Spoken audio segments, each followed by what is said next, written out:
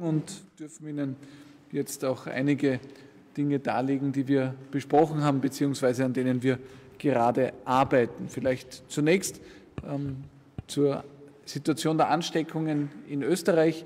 Wir haben mittlerweile fünf Wochen nach der Öffnung hinter uns, ähm, haben hier Öffnungsschritte früher gesetzt, auch als zum Beispiel unser Nachbarland Deutschland und haben eine seither sehr erwartbare Entwicklung. Die Ansteckungszahlen steigen allerdings in einem linearen Ausmaß und wir haben eine regional sehr unterschiedliche Situation ähm, mit äh, teilweise äh, vergleichsweise niedrigen Ansteckungszahlen, zum Beispiel im Westen Österreichs in Vorarlberg und insbesondere aber steigenden Ansteckungszahlen in Ostösterreich, aber zum Beispiel auch in Salzburg. Wir werden, ähm, wie auch angekündigt, am Montag wieder mit den Landeshauptleuten und den Experten gemeinsam beraten und über die weitere Vorgangsweise informieren. Darüber hinaus äh, darf ich Ihnen berichten zum Thema der Impfstofflieferungen innerhalb der Europäischen Union, dass wir hier eine sehr intensive Woche hinter uns haben mit äh, sehr vielen Gesprächen mit anderen Regierungschefs, mit äh, einem sehr intensiven Austausch mit Ursula von der Leyen und auch mit Charles Michel. Und ich bin sehr optimistisch, dass es möglich ist, hier eine Lösung auf europäischer Ebene zustande zu bringen und einen Korrekturmechanismus auch auf europäischer Ebene zu vereinbaren. Ich halte das für ganz entscheidend, denn es ist wichtig, dass das gilt, was die Staats- und Regierungschefs vereinbart haben. Die Staats- und Regierungschefs haben immer vereinbart, dass es eine Lieferung der Impfstoffe pro Rata Population at the same time, also auf Deutsch gleich viel pro Kopf nach dem Bevölkerungsschlüssel zur selben Zeit für alle Mitgliedstaaten geben soll. Es sind hier in einem anderen Gremium von Gesundheitsbeamten, einem sogenannten Steering Board, andere Vereinbarungen getroffen worden, die dem widersprechen. Aber nicht nur, dass diese Vereinbarungen dem widersprechen, was die Staats- und Regierungschefs vereinbart haben, sondern dieses Vorgehen würde auch zu einer massiven Ungleichheit in der Europäischen Union führen. Das würde bedeuten, dass Länder wie Malta ein Vielfaches an Impfdosen bekommen, wie im Vergleich Länder wie Bulgarien oder Lettland. Das würde bedeuten, dass insbesondere einige osteuropäische Länder, unter anderem auch Nachbarstaaten von uns, deutlich später ihre Bevölkerung impfen können als die Mehrzahl der Mitgliedstaaten in der Europäischen Union. Das entspricht nicht dem Geist der Europäischen Union und ist auch aus meiner Sicht im klaren Widerspruch mit der so oft beschworenen Solidarität in Europa. Und gerade wenn hier osteuropäische Staaten die Leidtragenden sind, dann glaube ich, dass das insbesondere auch die Spannungen innerhalb der Europäischen Union erhöhen würde. Und ich glaube, es gibt auch in der Bevölkerung in Europa kein Verständnis dafür, denn das politische Ziel, die politischen Ankündigungen waren ja nicht nur, dass am 27. Dezember alle gleichzeitig zu impfen beginnen, sondern die Ankündigungen waren natürlich auch, dass gleichermaßen Impfstoff für alle Mitgliedstaaten zur Verfügung gestellt werden soll. Es hat an diesen Entscheidungen auch ein österreichischer Beamter mitgewirkt. Ähm, der Gesundheitsminister hat hier auch Konsequenzen gezogen. Ich halte das für richtig. Und jetzt arbeiten wir mit voller Kraft an einem Korrekturmechanismus auf europäischer Ebene. Und ich glaube, dass das möglich sein wird, denn bei all den Gesprächen, die ich geführt habe, in der letzten Woche habe ich den Eindruck, dass niemand in Europa ein Interesse an so einer großen Ungleichheit haben kann. Für Österreich ist bisher kein Schaden eingetreten, aber dieses System, das hier vereinbart wurde, das ist auch zum Nachteil Österreichs und auch deshalb lehnen wir es ab. Das zweite Thema, das ich ansprechen möchte, das äh, für sehr viel Verunsicherung in der Bevölkerung gesorgt hat, ist äh, die Entscheidung von einigen Mitgliedstaaten, AstraZeneca nicht mehr zu verimpfen oder zumindest kurzzeitig auszusetzen. Wir vertrauen hier in Österreich voll und ganz auf die Expertinnen und Experten, die im nationalen Impfgremium noch einmal klar sich dafür ausgesprochen haben, alle zugelassenen Impfstoffe auch weiter zu verwenden. Am Donnerstag, also morgen, wird es eine Sitzung der Europäischen zuständigen Agentur dafür geben und ich gehe davon aus, dass hier das auch bekräftigt wird, was die EMA bisher immer schon von sich gegeben hat, nämlich dass sie Vertrauen in diesen Impfstoff hat. Für uns ist das deshalb eine relevante Frage, weil ein Gutteil des Impfstoffes in der Europäischen Union von AstraZeneca kommt und insofern ist das sehr relevant für die Frage, wie viel Impfstoff die Europäische Union und somit auch Österreich bis zum Sommer zur Verfügung hat. Und auch hier erlauben Sie mir einen kurzen Ausblick bis zum Sommer. Wir haben in Österreich knapp neun Millionen Menschen. Wenn man die unter 16-Jährigen abzieht, die nicht geimpft werden können, kommen wir auf 7,5 Millionen Menschen, die geimpft werden können. Wenn wir davon ausgehen, dass zwei Drittel sich impfen lassen wollen, sprechen wir von fünf Millionen Menschen, die derzeit gerne geimpft werden wollen. Wir bekommen wenn die Liefervereinbarungen, die auch nicht eingehalten worden sind, jetzt herausgerechnet werden und nur auf das geschaut wird, was es derzeit an Zusagen gibt, dann sollten wir als Republik Österreich bis zum Sommer über acht Millionen Impfdosen bekommen. Das bedeutet, dass wir bis zum Sommer jedem Österreicher, jeder Österreicherin eine Impfung anbieten können und somit im Sommer auch zur Normalität zurückkehren können, so wie ich das letzten August schon versucht habe zu prognostizieren. Entscheidend dafür ist natürlich die Entscheidung der EMA morgen, insbesondere was AstraZeneca betrifft und auch, dass die Zulieferer und insbesondere die Produzenten von Impfstoffen auch das einhalten, was sie in den letzten Tagen der Europäischen Union zugesagt haben. Sehr geehrte Damen und Herren, bis zum Sommer ist natürlich noch eine lange Zeit, das sind noch mehrere Monate. Und in dieser Zeit wollen wir unserem Zugang weiter folgen, so viel Freiheit wie möglich, so viel Einschränkung wie notwendig. Ab dem Zeitpunkt, wo die über 65-Jährigen geimpft sind, die das wollen, werden wir eine deutliche Entspannung erleben, weil insbesondere natürlich ältere Menschen oftmals einen schweren Krankheitsverlauf haben. Und daher wollen wir ganz bewusst auch bis zum Sommer auf Systeme setzen, die uns auch bis zum Sommer schon helfen, möglichst viel Freiheit zu erreichen. Wir haben uns heute im Ministerrat noch einmal auf den grünen Pass verständigt, ein Projekt, das jetzt auch auf europäischer Ebene vorangetrieben wird. Eine Möglichkeit, dass Menschen, die entweder geimpft oder genesen oder getestet sind, wieder vollkommen frei leben können. Das ist ein wichtiges äh, Projekt, weil es uns allen mehr Sicherheit gibt und auch die Möglichkeit für uns hat, möglichst gut durch diese schwierige Phase der Pandemie zu kommen. Dieses Projekt wird auf europäischer Ebene mittlerweile vorangetrieben, was für uns entscheidend ist, gerade als Tourismusland, um auch viele Urlauber im Sommer spätestens wieder in Österreich begrüßen zu können und um Hunderttausende Beschäftigte, die derzeit arbeitslos sind, auch im oder in Kurzarbeit sind, auch im Bereich der Gastronomie, des Tourismus, der Kultur des Sports, des Veranstaltungsbereichs wieder in Beschäftigung zu bringen. Wir wollen aber nicht auf die Umsetzung in der Europäischen Union warten, sondern hier auch schon einen ersten Schritt auf nationaler Ebene machen. Der Gesundheitsminister wird morgen im Gesundheitsausschuss die notwendige gesetzliche Grundlage auch vorschlagen, um einen grünen Pass schon im April in Österreich in Umsetzung zu bringen und äh, da auch wichtige Vorarbeiten für die gesamteuropäische Umsetzung zu leisten. Mein letzter Punkt aus Österreich und Europa hinaus in die Welt blickend. Wir haben heute den Beschluss gefasst, dass es die größte Auszahlung des Auslandskatastrophenfonds geben soll, die es bisher jemals gegeben hat, von 13,5 Millionen Euro für Projekte in Afrika, dem Nahen Osten, aber auch der Ukraine. Wir können hier insgesamt 250.000 Menschen unterstützen ganz besonders Frauen, Kinder, ältere Menschen, Menschen mit Behinderungen, also all jene, die ganz besonders Hilfe brauchen. Ich bin sehr froh über diesen Schritt, weil das Thema des Auslandskatastrophenfonds mich ja schon lange begleitet. In meiner Zeit als Außenminister habe ich mit einem Budget von 5 Millionen Auslandskatastrophenfonds pro Jahr gestartet. Es ist dann gelungen, es auf 10, dann auf 15 Millionen zu steigern. Mit äh, der Koalition, mit dem Koalitionspartner ist es uns gelungen, gemeinsam als Regierung jetzt das Volumen auf 50 Millionen pro Jahr anzuheben. Und ich glaube, äh, ich spreche für uns alle, auch für den Herrn Vizekanzler, Außenminister und Gesundheitsminister, aber auch die ganze Regierung, dass wir froh sind, hier so einen wichtigen Beitrag in der Welt leisten zu können.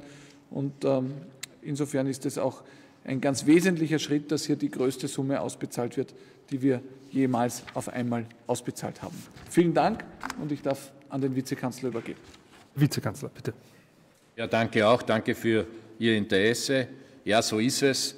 Äh, mit 13,5 Millionen Auszahlung und dem Beschluss von heute stehen für österreichische Hilfsorganisationen äh, so viele Mittel zur Verfügung wie noch nie. Was soll damit geschehen? Also österreichische Hilfsorganisationen in Krisenregionen, wo besonders humanitäre Hilfe jetzt gefragt ist. Warum das besonders jetzt? Weil die Corona-Krise äh, in vielen Bereichen hier, Außenminister hat es gesagt, wie ein Brandbeschleuniger wirkt und jetzt auch tatsächlich diese äh, Hilfen angezeigt sind. Ich möchte aber meinen Dank aussprechen an die österreichischen Hilfsorganisationen, die wir ja gestern auch alle zu Gast haben durften oder zumindest einen größeren Teil davon, weil hier immer schon sehr professionell und entsprechend effizient und effektiv vor Ort gearbeitet wird. Äh, diese Zusammenarbeit in dieser Dimension ermöglicht uns aber jetzt eine Zusammenarbeit auf Augenhöhe, weil nämlich für die entsprechenden Hilfsorganisationen mehr Planbarkeit erzeugt wird, durch die Vorhersehbarkeit mehr Planbarkeit und deshalb auch mehr Kontinuität. Ähm, warum ist das so wichtig? Es wurde schon gesagt, wem da geholfen wird, äh, vor allem vor allem sind ja jene betroffen, die sich selber gar nicht mehr helfen können. Es geht darum, hier Menschenwürde und eine gewisse Mindestsicherheit ja oft auch zum Überleben zu erzeugen.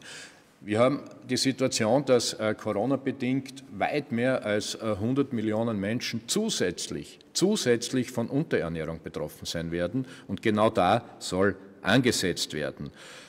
Und das betrifft natürlich tatsächlich oft die Kinder, die Frauen, die Kranken und auch Behinderte. Wo soll das geschehen? Wir haben es äh, ja gehört. Ähm, in Afrika wird es betreffen Burkina Faso, äh, Uganda, Äthiopien und Mosambik. Dieser Teil würde sieben Millionen umfassen. Äh, rund um Syrien, das ist jetzt nicht die Syrienhilfe, aber rund um Syrien in Libanon und in Jordanien fünf Millionen. Und wieder anders gelagert ist der Fall der Ukraine, also genauer der Ostukraine. Der Außenminister wird sicher noch darauf eingehen. Aber das Wesentliche ist, glaube ich, dass wir dort besonders zielgerichtet deshalb helfen können, weil die österreichischen Hilfsorganisationen hier genau in diesen Regionen auch schon ein entsprechendes Know-how aufgebaut haben. Und das ist uns auch wichtig, diese Zusammenarbeit zu verstärken. Und das geht eben genau mit diesem Umfang viel besser, weil so kann man Jahresprogramme planen und so kann man auch eben längerfristig arbeiten. Das ist gestern auch ganz klar äh, herausgekommen. Und diese Regelmäßigkeit führt eben dazu, dass wir hier tatsächlich äh, gewiss sein können, dass die Mittel, das ist ja auch immer ein Thema äh, bei diesen Hilfsprojekten, die Mittel auch gut verwendet werden und ankommen werden. Also in diesem Sinne effizient und effektiv. Ja, und tatsächlich, es ist so viel Geld im in den Beschlüssen drinnen wie niemals zuvor. Das ist sicher ein gemeinsames äh, Anliegen dieser Regierung, ein gemeinsames Projekt. In Wahrheit haben wir äh, bei den Sondierungen uns schon in diese Richtung bewegt äh, und es wurde dann im Vorjahr budgetär umgesetzt und zwar mit einem Zeitplan bis 2024, wo wir dann bei den 60 Millionen landen. Aber es sind auch jetzt schon 52 50,5 Millionen und das ermöglicht uns äh, hier für die speziellen Projekte über die österreichischen Hilfsorganisationen dieses 13,5 Millionen Paket zu schnüren. Ich meine, das ist tatsächlich ein großer Sprung. Das ist eine Vervielfachung und danke also auch äh, den äh, Regierungskolleginnen und Kollegen für diese Möglichkeit. Das ist mit Sicherheit was, was angekündigt wurde, ins Regierungsprogramm geschrieben wurde und in einem Ausmaß und in einer Geschwindigkeit umgesetzt wurde, äh, die sich sehen lassen kann. Aber noch einmal, ich möchte hier auch die, das Wirken der österreichischen Hilfsorganisationen auch in den Mittelpunkt rücken, weil die ja tatsächlich die Arbeit dann leisten und in einem entsprechenden Ausschreibeverfahren dann auch noch äh, zum Zug kommen, je nach Region und je nachdem, was hier äh, geliefert und geleistet werden kann. Dankeschön. Dankeschön. Herr Außenminister, bitte sehr. Sehr geehrte Damen und Herren, ich glaube, die vergangenen zwölf Monate haben außenpolitisch eines bewiesen, Krisen und Konflikte haben keine Angst vor einem Virus. Allein wenn man die Landkarte, die Krisenlandkarte März 2020 und März 2021 vergleicht, dann sieht man, dass die Anzahl an heißen Konflikten zugenommen hat. Brandbeschleuniger war diese Pandemie in Wirklichkeit in den letzten zwölf Monaten. Und wir können uns als Regierung, wir können uns als europäischer Staat nicht eine Nabelschau leisten. Wir dürfen nicht den Blick über den Tellerrand verlieren und wir müssen wahrnehmen, dass diese Pandemie auch in außenpolitischer, in humanitärer Hinsicht mehrere Krisen enorm angeheizt hat. Wir wissen, dass gerade in Entwicklungsstaaten und gerade bei vulnerablen Personengruppen, Frauen und Kindern, die jetzige Situation besonders schwierig ist. Wir wissen auch, dass oder müssen davon ausgehen, dass die bestehenden politischen Instabilitäten gerade in Staaten mit schwachen Institutionen sich noch weiter verstärken werden. Das heißt, wir stehen erst am Beginn einer, wir sehen erst die, die Spitze des Eisberges, wenn man so will, was die geopolitischen und außenpolitischen Wirkungen betrifft. Und ich glaube, daher ist die Verdopplung des Auslandskatastrophenfonds letztes Jahr genau zum richtigen Zeitpunkt erfolgt. Wir haben damit die Basis geschaffen, um unsere Hilfe vor Ort deutlich zu erhöhen und noch mehr Menschen zu erreichen. Der Bundeskanzler hat das ja gesagt. Und heuer ist der Auslandskatastrophenfonds mit 52,5 Millionen so gut dotiert wie noch nie. Und damit können wir zweierlei erreichen. Einerseits unseren humanitären Verpflichtungen besser gerecht werden und zweitens einem lang gehegten Wunsch der österreichischen NGOs nach mehr Planbarkeit, nach mehr Planungssicherheit entgegenzukommen. Und der heutige Beschluss ist eine Premiere, die größte Einzelausschüttung, und wir machen genau beides. Ich glaube, das ist ein sehr starkes Signal dieser Bundesregierung, dass wir eben unserer Verantwortung bewusst sind und auch diesen Blick über den Tellerrand machen. Ähm, das ist auch, glaube ich, ein starkes Zeichen der Stärke der Partnerschaft zwischen der Bundesregierung und der Zivilgesellschaft, den österreichischen NGOs, den ich auch an dieser Stelle einen großen Dank aussprechen will für ihre großartige Arbeit in diesem Zusammenbereich, in, dem, in diesem Bereich. Es wurde schon erwähnt, ähm, Unsere Arbeit wird im Wesentlichen natürlich in diesem Jahr von der Bekämpfung der Pandemie, der Bekämpfung von Covid-19 auch im Bereich der Entwicklungszusammenarbeit geprägt sein zwei große oder drei große eigentlich Schwerpunkte. Eines sieben Millionen für Afrika, für vier Staaten in Afrika, Äthiopien, Uganda, Mosambik, Burkina Faso, sind alle Schwerpunktländer der österreichischen Entwicklungszusammenarbeit, Länder, die aus unterschiedlichen Gründen, Stichwort Heuschreckenplage, Stichwort Dürre, äh, besonders hart getroffen sind und die jetzt auch noch zusätzlich unter der Pandemie zu leiden haben. Zweiter Punkt ist Libanon, Jordanien, je 2,5 Millionen für diese beiden Staaten. Das hat natürlich mit der Migrationskrise, der anhaltenden Migrationskrise und der anhaltenden Syrien-Konflikt zu tun. Dritter Punkt, 1,5 Millionen Euro für die Ukraine. Das ist weiterhin, auch wenn es manchmal nicht zu seinem Fokus ist, die größte Krise, die wir auf dem europäischen Kontinent haben. Und es darf nicht zum vergessenen Konflikt auf europäischer Ebene werden. Erlauben Sie mir aber nur kurz im Zusammenhang auch mit Libanon und Jordanien etwas darauf hinzuweisen, dass wir gerade vor zwei Tagen, am 15. März, den traurigen 10. Jahres, Jahrestag begangen haben des Ausbruches der, des brutalen Kampfes in Syrien um mehr Rechte und um mehr Freiheit. Zehn Jahre Leid, Not und Terror. Zehn Jahre des Konfliktes, der nicht nur die ganze Region mit sich mitgerissen hat, sondern wirklich doch massive Auswirkungen bei uns in Österreich hatte. Denken wir nur an die Migrationskrise 2015, 2016. Denken wir nur auf das Aufkommen und den Aufstieg der Terrormiliz Daesh, die uns auch massiv betroffen hat. Fast 60 Prozent der syrischen Bevölkerung musste fliehen oder sind internally displaced people, also sind intern vertrieben. Sechs Millionen befinden sich im Ausland. Und daher wird die gesamte Region auch in diesem Jahr für Österreich und die österreichische Entwicklungszusammenarbeit ein Schwerpunktregion sein. Und wir werden im Laufe dieses Jahres aus den verschiedenen Kanälen, also nicht nur Auslandskatastrophenfonds, 15 Millionen Euro für Syrien und die Nachbarstaaten im Zusammenhang mit der Migrationskrise und den anhaltenden Konflikt zur Verfügung stellen. Vielen Dank. Dankeschön. Herr Gesundheitsminister, bitte sehr. Ja, und zurück zum Schluss äh, zur Pandemie als solches und äh, zu den drei Bereichen, äh, auf die der Bundeskanzler schon eingegangen ist am Beginn. Äh, Infektionszahlen heute, wo stehen wir präzis äh, äh, dargestellt? Wir haben heute zu vermelden 3.239 Neuinfektionen. Und wir sehen damit, dass wir pro Woche derzeit zwischen 400 und 500 Infektionsfälle pro Tag ansteigen. Aber das ist keine bundesweite Entwicklung. Wir haben regional extreme Unterschiede, Unterschiede, die sogar noch weiter auseinanderdriften, deutlich auseinanderdriften. Wir haben in Westösterreich eine sehr stabile, gute Situation äh, mit der absoluten Spitze, Top-Situation nach wie vor in Vorarlberg. Äh, von daher wirklich äh, der gute und der beste Ort, wo man eine Pilotregion starten kann. Äh, wird auch sehr gut äh, begonnen. Wir begleiten das wissenschaftlich äh, im Übrigen sehr intensiv. Schwierige Situation in Ostösterreich und das hat natürlich vor allem auch damit zu tun, dass hier die Ausbreitung der britischen Mutationsvariante schon extrem weit vorangeschritten ist. Wir sind da bereits in vielen Regionen Ostösterreichs bei über 90 Prozent Ausbreitungsgrad. Das heißt, das ist die dominante und die sorgt natürlich auch für ein erhöhtes Ansteckungsgeschehen und auch im Übrigen, ich komme gleich drauf, auch für eine deutliche Mehrbelastung in den Intensivstationen. Äh, was ist positiv? Positiv ist sicherlich, äh, dass die äh, Testzahlen weiter nach oben gehen. Das ist ja unsere Strategie, Lockdowns zu unterbinden, zu verhindern durch ein innovatives, intelligentes Testsystem im Wesentlichen als Hauptpriorität. Wir hatten in den letzten 24 Stunden ja fast schon unglaubliche 436.000 Tests an einem einzigen Tag.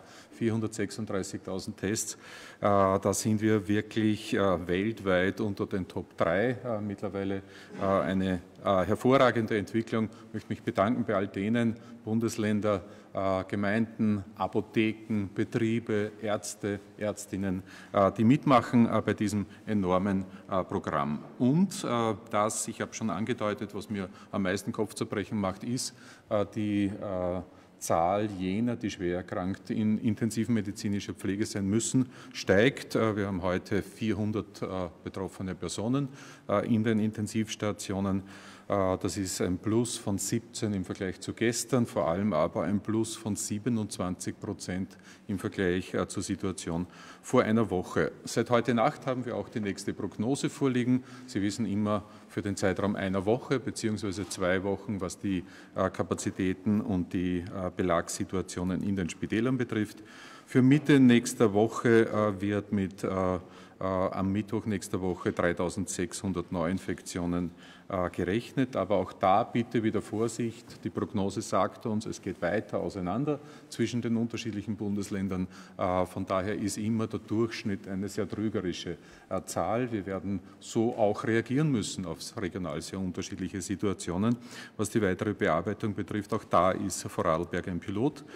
Die Zahl der intensivmedizinischen Belege wird nach dieser Prognose bis Ende März auf 515 steigen. Das ist schon sehr, sehr viel, vor allem äh, Ostösterreich, wie gesagt, Haupt äh, betroffen.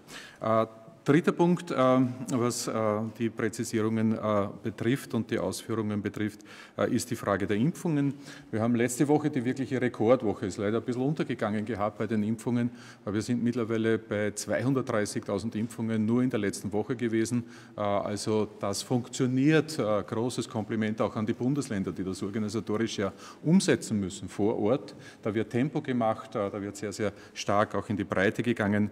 Wir haben mittlerweile 1,1 1,1 Millionen Impfungen durchgeführt äh, in Österreich und äh, wir sind in der Situation, dass mittlerweile 11 Prozent der impfbaren Bevölkerung, also die Bevölkerung über 16, um es mit anderen Worten, schöneren Worten darzustellen, äh, bereits eine erste Impfung haben.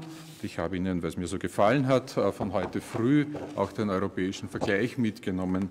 Das ist die derzeitige Sieben-Tages-Rate, was die Impfungen betrifft.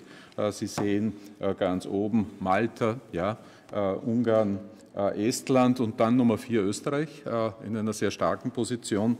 Also wir sind da wirklich gut unterwegs im Augenblick und das zeigt auch, dass unser Problem, Bundeskanzler hat es eh schon eingeflochten am Beginn, nicht das Thema der Beschaffungsmengen ist, das ist nicht unser Thema, 31 Millionen äh, beschaffte Dosen. Äh, das ist eine mehr als Verdreifachung dessen, was wir wirklich tatsächlich benötigen für die Durchimpfung. Also das ist nicht äh, das Thema und bisher funktioniert das sehr, sehr gut. Aber der vierte Punkt, und das haben wir heute im Ministerrat als Grundsatzbeschluss einmal fixiert, ist eben der grüne Pass. Und der grüne Pass wird äh, in den nächsten Wochen und Monaten ein ganz ein wichtiges Instrument werden.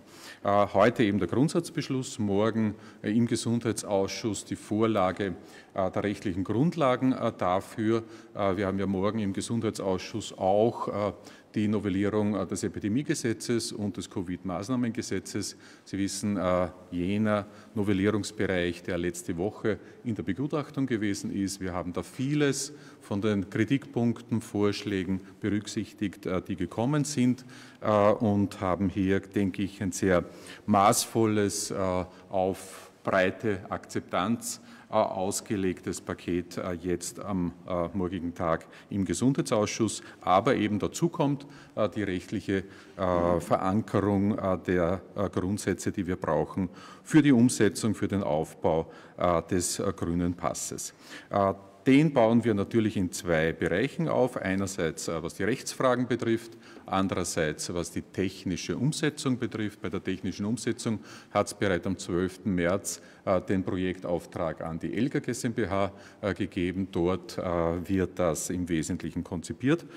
Und ähm, von daher wollen wir in zwei Etappen ausrollen. Die erste Etappe ist die Etappe der Verankerung der Testungen, also damit ich nicht mehr das haptische Papier brauche, sondern auch hier elektronisch einfach eine Umsetzung habe, was Zutrittsmöglichkeiten etc. etc. betrifft.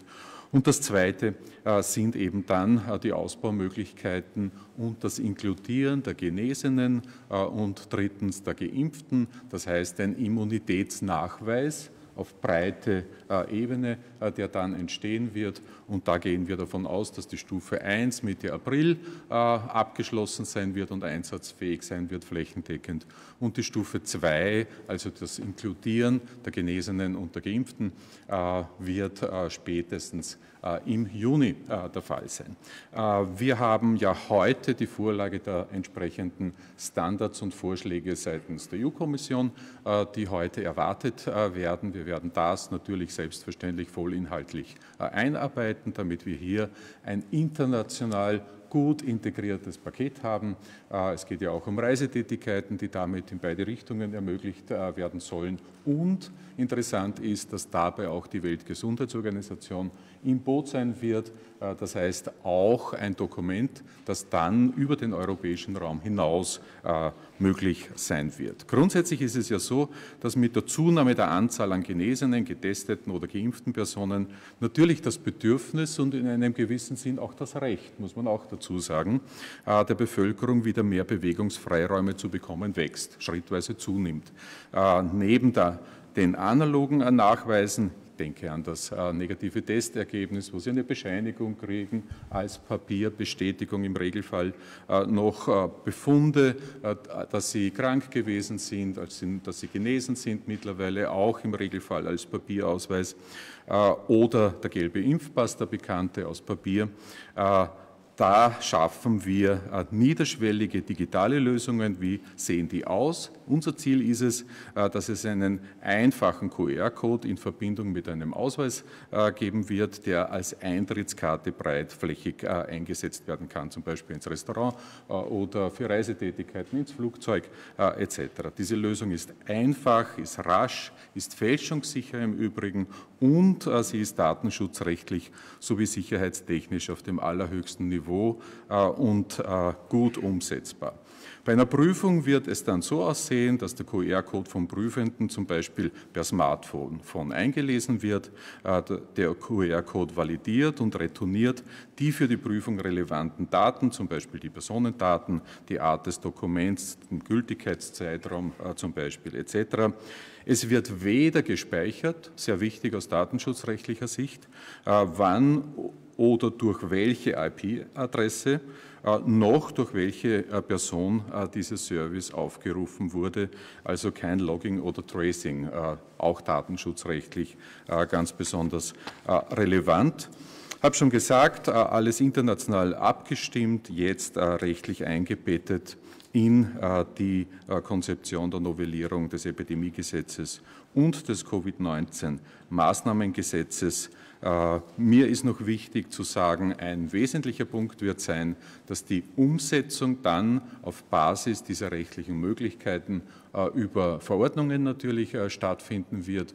Und da werden wir uns schon sehr schön, sehr präzis, breit äh, mit einer äh, Bürgerbeteiligung, mit einer Experten- und Expertinnenanhörung sensible Bereiche wie Gültigkeitsbereiche, wo gibt es Abgrenzungen, wofür gilt er nicht, äh, zum Beispiel nämlich Bereiche, wo jeder Mann, jede Frau hin muss, die Apotheke zum Beispiel selbstverständlich und andere Bereiche, wie das stattfindet. Wichtig ist noch, dass wir eine saubere wissenschaftliche Absicherung dessen erreichen, dass auch bei der durch die Impfung das Transmissionsgeschehen eingedämmt wird. Da deutet derzeit alles nach dem bisherigen Wissen über die Wirksamkeit der Impfstoffe darauf hin.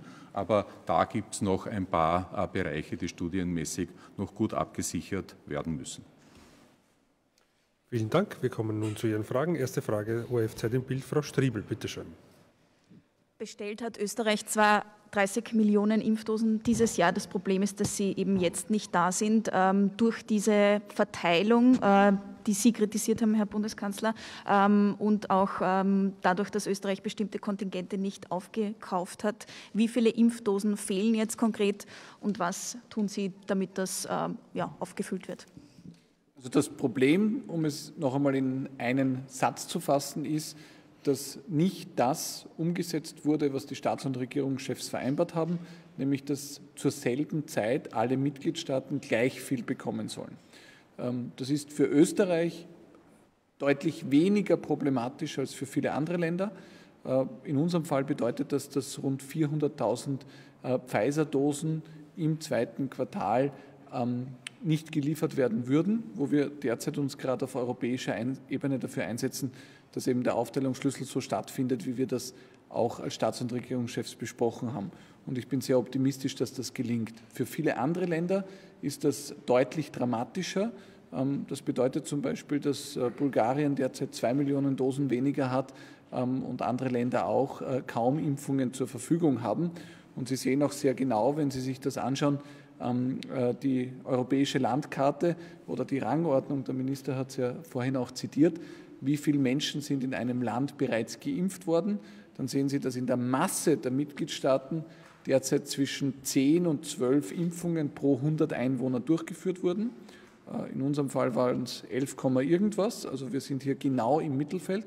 Äh, aber einige wenige profitieren von diesem System, das hier in diesem Steering Board geschaffen wurde. Und äh, einige Länder sind die dramatischen Verlierer. Und das kann nicht der Geist der Europäischen Union sein. Ähm, gegen das wehren wir uns. Äh, das ist im Widerspruch zu dem, was die Staats- und Regierungschefs vereinbart haben. Und äh, daher bin ich auch sehr optimistisch, dass es gelingt, hier einen Korrekturmechanismus zu finden. Davon würden dann massiv die Länder profitieren, die jetzt zu wenig haben, auch Teile unserer Nachbarländer. Und auch für Österreich würde es einen Vorteil bringen, nämlich dass diese 400.000 Dosen, rund 400.000 Dosen von Pfizer BioNTech dann wahrscheinlich ausgeglichen werden würden. Um es noch einmal äh, zu ergänzen und zu unterstreichen, unser Problem ist nicht die Bestellmenge, unser Problem ist der Zuliefermodus.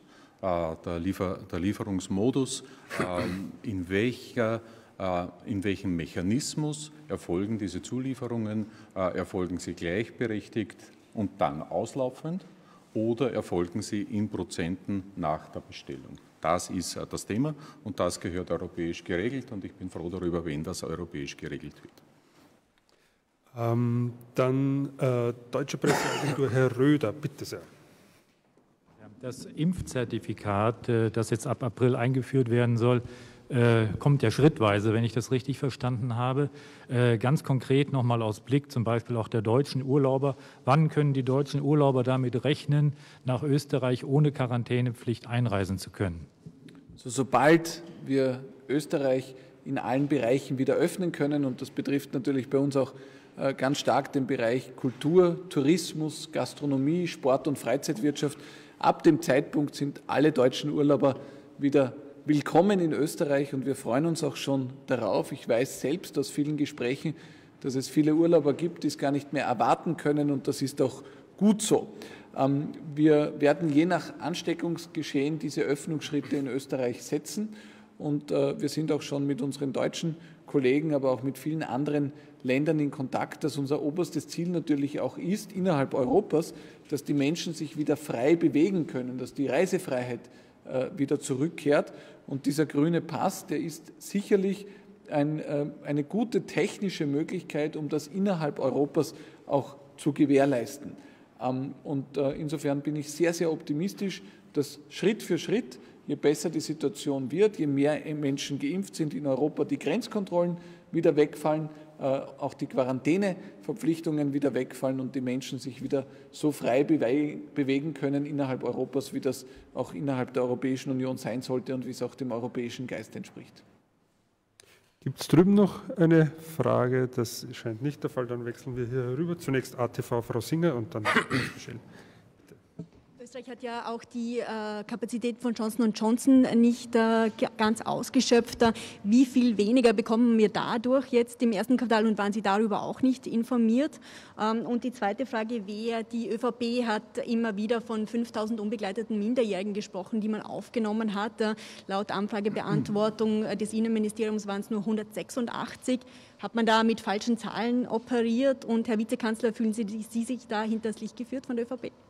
Ich kann zu beiden Fragen was sagen, aber dann gerne auch äh, an den Herrn Vizekanzler übergeben. Aber nachdem Sie die ÖVP angesprochen haben, äh, bitte schauen Sie sich alle Meldungen der Austria Presseagentur an. Es geht hier immer klar heraus, dass von Minderjährigen die Rede war.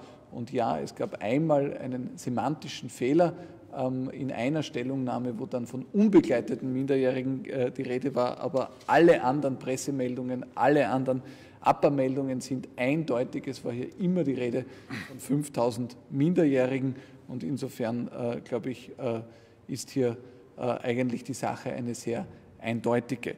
Und äh, zum anderen Thema mit Johnson Johnson stellt sich es genauso dar äh, wie mit äh, allen anderen Impfstoffen. Ähm, die Staats- und Regierungschefs haben immer vereinbart, dass jedes Land seinen Bevölkerungsanteil erhält und gleichzeitig ausgeliefert wird. Und äh, insofern gilt das für alle Impfstoffe. Und äh, das ist auch das äh, System, das aus meiner Sicht ein gerechtes für Europa wäre und wo wir uns auch einsetzen, dass sich dieses System ähm, auch durchsetzt, weil es war immer das Ziel der Europäischen Union.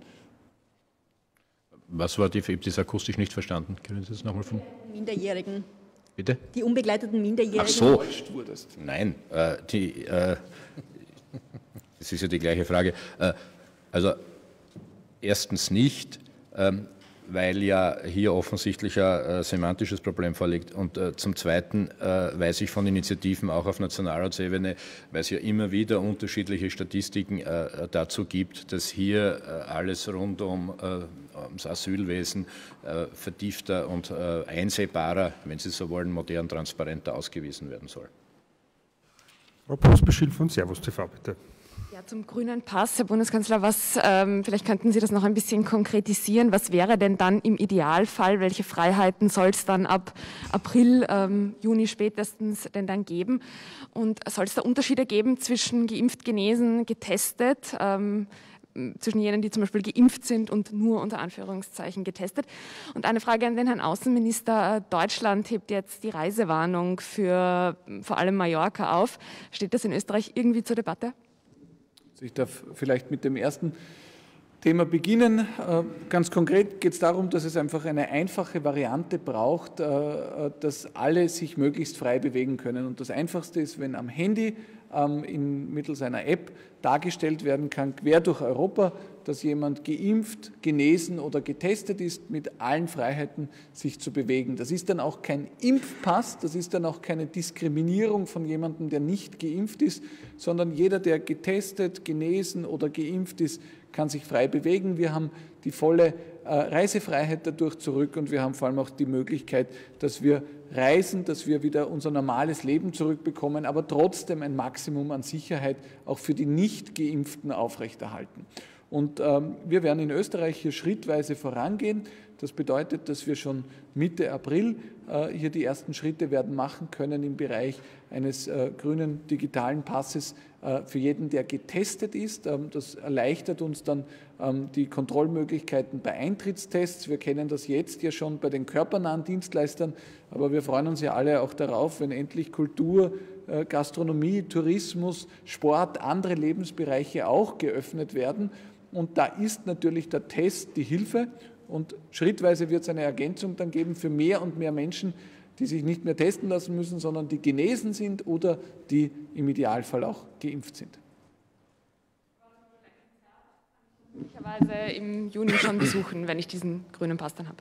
Ja, also ich will jetzt nicht über äh, Daten spekulieren, aber das ist natürlich genau das Ziel, dass äh, sobald die Kultur, Gastronomie, Tourismus, sobald die geöffnet werden, dass man dann mit diesem grünen Pass als getesteter, genesener oder ähm, eben geimpfter ähm, die Möglichkeit hat, nicht nur Freiheiten zu genießen, sondern auch Freiheiten sicher zu genießen. Vielleicht zur Frage betreffend Mallorca. Allein die Frage zeigte, dass wir einfach noch nicht in der Normalität da sind. Der digitale grüne Pass wäre ja das Ticket zurück in diese Normalität, die wir uns alle so sehr wünschen. Ähm, aber wir sind noch nicht da und wir beobachten natürlich gemeinsam mit den Experten des Gesundheitsministeriums, Innenministeriums und Bundeskanzler jede einzelne Region in, in Europa und die Situation in den Mitgliedstaaten. Wir sind derzeit zum Schluss gekommen, dass wir eine solche regionale Öffnung nicht machen. Und derzeit ist auch unsere Politik, sage ich ganz offen, auch von Seiten des Außenministeriums, dass wir nicht jetzt regionale sozusagen Fleckerlteppiche wiederherstellen wollen. Das ist jetzt derzeit eine Momentaufnahme natürlich. Ähm, wir alle haben die Hoffnung, dass wir im Sommer die größtmögliche Normalität auch bei der Mobilität wieder genießen können. Ähm, aber noch sind wir nicht so weit und noch muss jedem klar sein, dass Mobilität auch mit einem Risiko und einem erklecklichen Risiko verbunden ist. Frau Hager vom Kurier, bitte. Ähm, diesbezüglich eine Frage in die nähere Zukunft gerichtet. Nach welchen Parametern wird denn jetzt entschieden? Also ist diese, wir haben jetzt von, am Mittwoch von 3,3600 äh, avisierten möglicherweise Neuinfektionen gerechnet. Ab wann kann denn Gastronomie, Handel und Co. rechnen, ganz und aufzumachen und wann etwaig wieder zu? Also wird es vor Ostern einen, einen Öffnungsschritt geben oder eher gehen Pfingsten hin und dann eben in weiterer Folge äh, auch an den Außenminister gefragt, ähm, gibt es bilaterale Gespräche, gibt es einen Mix zwischen, es wird ins Treffen geführt, die Impfrate im Land sowieso ist, liegt bei 70 Prozent, das Infektionsgeschehen ist dort und dort, deswegen werden wir da möglicherweise dann doch gemeinsam größere, größere Räume in Europa zum Beispiel schaffen können, um, um wenigstens innereuropäisch reisen zu können? Ich will dem Außenminister nicht vorgreifen, aber äh, nur ein Verständnisthema noch für diese Reisefrage. Im Moment, ähm, gerade in Urlaubsregionen, stellt sich ja nicht nur die Frage, wie ist die Inzidenz dort äh, und sind die wenigen Einwohner dieser Region, ähm, oftmals sehr dünn besiedelte Regionen auch, sind diese wenigen Einwohner gerade jetzt im Moment infiziert oder die Frage, was passiert, äh, wenn auf einmal unzählige Deutsche, Briten und andere gleichzeitig nach Mallorca reisen. Ähm, und insofern äh, ist das, glaube ich, ein bisschen komplexer als nur die Frage, wie schaut es in einer Region im Moment gerade aus. Was Österreich betrifft, ist der Tourismus für uns ganz entscheidend, auch indirekt entscheidend für Kultur, Sport, Gastronomie und viele andere Branchen. Und daher haben wir natürlich ein großes Interesse, dass sobald als möglich auch ausländische Touristen, in unserem Fall sind es vor allem auch deutsche und andere europäische Mitgliedstaaten, die Möglichkeit haben, wieder zu uns zu reisen. Ähm, also das ist etwas, ähm, worauf es ganz massiv ankommt für uns auch wirtschaftlich. Wir haben Hunderttausende Beschäftigte im Moment in diesen Branchen, die derzeit nicht arbeiten können. Je schneller wir die wieder in Beschäftigung bringen, desto besser auch für diese Menschen. Und was den Ausblick des genauen Öffnungsdatums betrifft, das bemisst sich an vielen äh, Faktoren. Äh, zum einen natürlich an der Frage der Ansteckungszahlen, zum zweiten aber auch an der Frage, wer steckt sich an? Sind es ältere Menschen, die sich anstecken oder ausschließlich jüngere? Bei Älteren haben wir wesentlich öfter ähm, die Notwendigkeit ähm, einer medizinischen Behandlung im Spital oder auch auf einer Intensivstation. Es ist natürlich relevant die regionale Verteilung.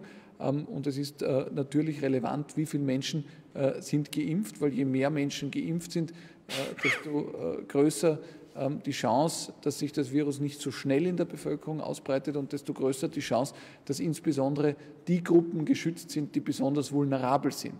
Ähm, und daher spielen da verschiedene Faktoren zusammen. Wir beraten regelmäßig mit den Bundesländern und werden den Weg weiter verfolgen, dass wir, sobald es in einer Region möglich ist, auch Öffnungsschritte setzen, so wie jetzt in Vorarlberg. Und auf der anderen Seite, wenn es notwendig ist, wo regional zu verschärfen, dann werden das die Bundesländer auch tun. Äh, denn äh, man muss äh, in allen Bundesländern sicherstellen, dass immer eine medizinische Versorgung auch gegeben ist.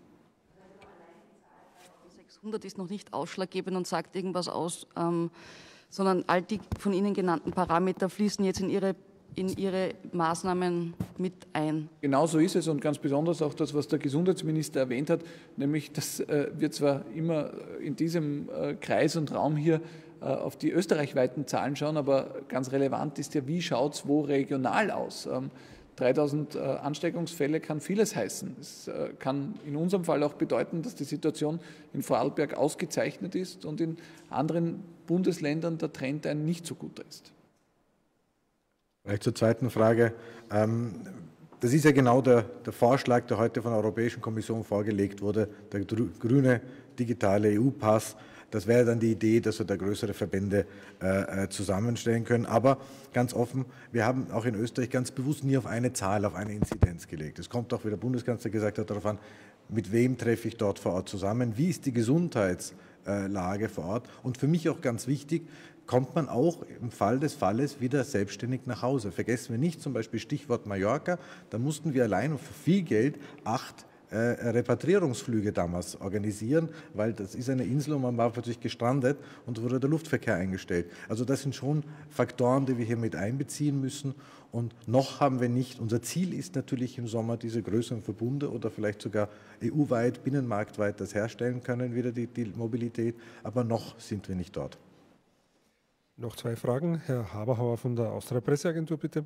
Ja, eine Frage schon zu den Osterferien. Es gab da schon Rufe der Experten, äh, die vielleicht zu verlängern, dort wo es notwendig ist. Heute hat äh, die Tiroler Landesrätin Ballvater das Gegenteil gefordert, nämlich dass man äh, vom Schichtbetrieb wegkommt, komplett.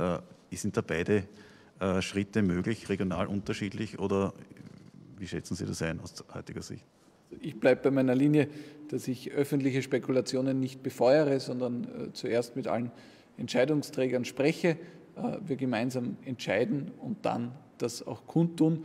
Ähm, ich glaube, dass all diese öffentlichen äh, Spekulationen und Debatten eher die Bevölkerung verunsichern, ähm, genauso wie es wenig sinnvoll ist, auf Einzelwerte, einzelne Tage bei Ansteckungszahlen zu schielen. Genauso, glaube ich, bringt diese Debatte nicht viel weiter. Die Situation in Österreich, wir haben das schon ausgeführt, ist höchst unterschiedlich. Das heißt, wenn Sie jetzt sagen, in einem Bundesland fordert ein Landesregierungsmitglied X und ein Experte sagt Y, äh, dann muss man mal zunächst klären, sprechen die überhaupt vom gleichen Bundesland oder sprechen die von unterschiedlichen Regionen. Äh, wir haben Bezirke äh, mit einer Inzidenz von weit über 500 und wir haben Bezirke mit einer Sieben-Tage-Inzidenz von deutlich unter 100. Also man muss da ein bisschen differenzierter agieren. Letzte Frage, Herr Mustafa Delice, bitte. Ja, meine Frage äh, betrifft den Herrn Schallenberg. Wenn die Schulen schließen im Juli, ja, da fahren über Hunderttausende Austro-Türken mit und ohne Staatsbürger, also Staatsbürger, fahren und fliegen nach Türkei. Ja? Wenn die grüne Karte auch fertig ist bis Juli, ja, wird oder oder wird oder äh, später wird Gespräche mit türkischen Staat wird's geben mit der grünen Karte für Kupplung, dass die Leute einreisen, ausreisen können mit dieser grünen Karte, wenn, wenn eine Abmachung mit der Türkei wird es geben? Also es ist klar, dass die Türkei natürlich assoziiert ist, aber momentan ist, äh, wir müssen uns den Verordnungsentwurf, der heute vorgestellt wird von der Europäischen Kommission, anschauen. Ganz offen gestanden, wir haben momentan eine Diskussion mit dem Fokus, dass wir die Mobilität innerhalb des Binnenmarktes, innerhalb der EU-Mitgliedstaaten herstellen. Aber selbstverständlich wird sich sehr bald auch die Frage stellen, wie man umgeht mit äh, den Staaten außerhalb der Europäischen Union und das kann Südostasien sein, Nordafrika, Türkei. Also die Frage wird sich selbstverständlich stellen. Wir schauen uns jetzt an, was der konkrete Vorschlag der Kommission ist. Und das erste Ziel muss einmal sein, die innereuropäische Mobilität wiederherzustellen. Damit sind alle Fragen beantwortet. Wie es ausschaut, vielen Dank äh, den Vertretern der Bundesregierung und Ihnen vielen Dank für Ihre Fragen und fürs Kommen.